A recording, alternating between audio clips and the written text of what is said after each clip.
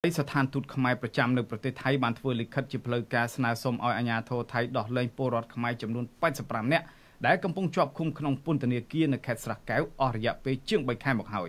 ការស្នើសុំនេះធ្វើឡើងបន្ទាប់ពីសាច់ញាតិរបស់ពួកគេអំពាវនាវឲ្យស្ថាប័នពាក់ព័ន្ធជួយអន្តរាគមន៍ទៅភាគីថៃដោយអះអាងថាសមត្ថកិច្ចថៃចាប់ខ្លួនអ្នកទាំងនោះដាក់គុកជាង3ខែមកហើយ កាសែតភ្នំពេញប៉ុស្តិ៍បានដកស្រង់សម្ដីរបស់អ្នកនាំពាក្យក្រសួងការបរទេសលោកកេតសៅផាន់ចុះផ្សាយនៅថ្ងៃនេះថាស្ថានទូតកម្ពុជាកាលពីម្សិលមិញ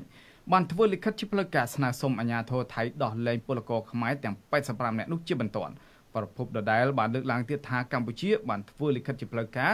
ស្នើសុំឲ្យមានការដោះលែងជាបន្ទាន់តាមដែលអាចធ្វើទៅបានហើយខាងពន្ធនាគារថៃបានសន្យាថានឹងជួយដោះស្រាយរឿងនេះឲ្យបានឆាប់ផងដែរ លោកកេតសោផាន់បន្តថាក្រោយពីទទួលបានព័ត៌មានពីការចាប់ខ្លួនមន្ត្រីស្ថានទូតបានតាក់ទងជាមួយនឹងប្រធានពន្ធនាគារសួនភ្លូដើម្បីសួររកមូលហេតុហើយបន្ទាប់មកប្រធានពន្ធនាគារថៃបានឲ្យមន្ត្រីស្ថានទូតខ្មែរចូលជួបដោយប្រាប់ថាករណីសង្ស័យពីបទជួញដូរមនុស្សកន្លងមកពលរដ្ឋខ្មែរតែងប្រឈមក្នុងការរស់នៅនិងការធ្វើការងារនៅប្រទេសថៃជាពិសេស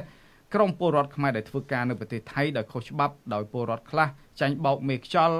ហើយ ត្រូវបានគេយកទៅលក់ធ្វើជាពលករចុះទូកនេសាទដោយចុះទូករាប់ខែរាប់ឆ្នាំហើយបង្ខំឲ្យប្រើប្រាស់ថ្នាំញៀនធ្វើទារុណកម្មជាដើមទិន្នន័យក្រសួង